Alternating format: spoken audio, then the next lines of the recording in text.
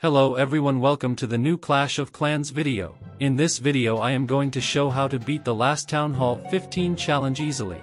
This is the last challenge before Town Hall 16 is introduced, so let's get right into it. Start by making sure your Grand Warden is in ground mode.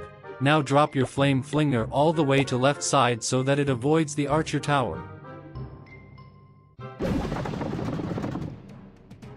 Now deploy your king and queen as shown in the video.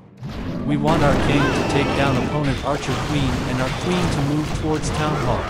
Use baby dragon to create funnel to make sure our king goes inside the compartment. Use electro titan and headhunters to support the king. Now deploy all five healers for your queen. Drop giant hog and valkyrie to destroy the cannon. Now wait for the queen to step inside the town hall compartment. Use Headhunter to support Queen.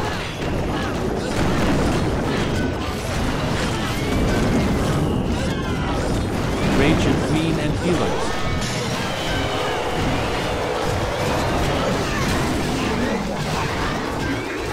Use one minion to clear the army camp near the flame flinger. Break the wall as we are about to enter the base with our main armor. Another rage for Queen. After the town hall goes down push inside the base. Drop two ice golems all super bowlers ordered with four balloons.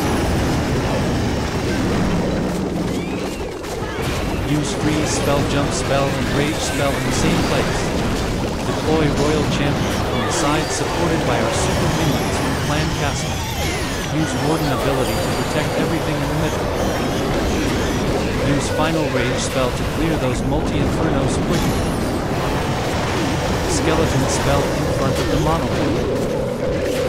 Use Invisibility spell to protect troops and heroes in the middle. Drop your cleanup troops wherever necessary.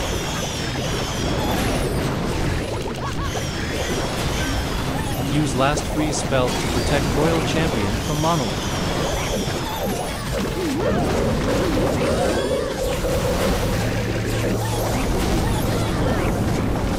In this way this base can easily be three-starred. Is you have any other easy way to beat this base then let me know in the comments.